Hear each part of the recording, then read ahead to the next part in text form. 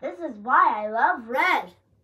I like red because it's nice, and when something is nice, I like ni- nice things like blue, like blue, pink, yeah, those kinds of colors. And another reason why I like it because it's it's precious. Precious colors are the best colors ever in America. And the third reason why I like red is because it's it's fancy.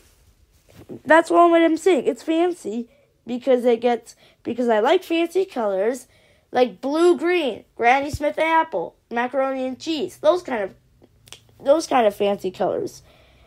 Like from Crayola crayons, you usually see some fancy colors on the on on the back. You see these fancy colors, these funny, entertaining colors, which is nice. So that so um what was I gonna say?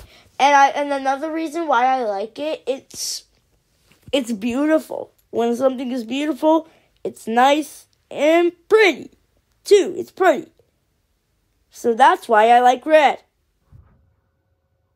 If you guys enjoyed today's video, please like and subscribe for more videos like this. I hope I see you guys next time. Peace.